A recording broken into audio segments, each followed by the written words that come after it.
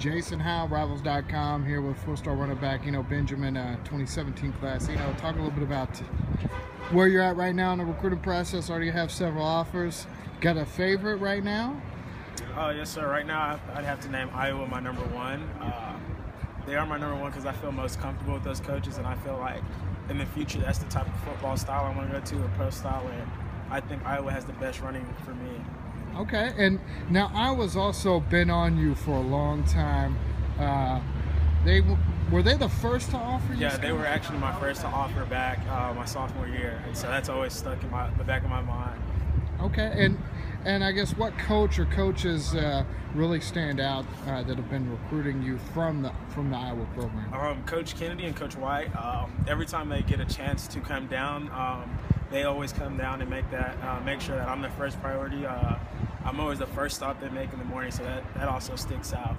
Now, are you looking to make a decision anytime soon, or, I mean, do you have an idea on any of that? Well, really, um, I just feel like when it's the best fit, I'll make that commitment. Uh, I really don't have a planned date to make that commitment. Okay, so Iowa's number one. Who are some of those other schools you're really looking at? Um, some other schools I'm still looking at, probably Texas Tech. Uh, now with the new uh, coaching staff at Miami, I'm checking them out a little bit, so we'll see how that goes. Okay, now have you heard from them since the change uh, over there? Yes, I have.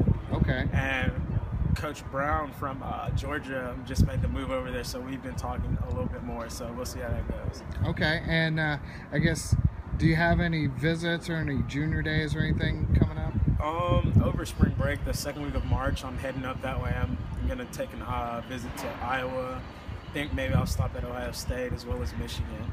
Okay, and uh, any any new schools really coming on strong, really showing you a lot of interest? Um, new schools right now. I've been talking to Vanderbilt a lot, so that's interesting.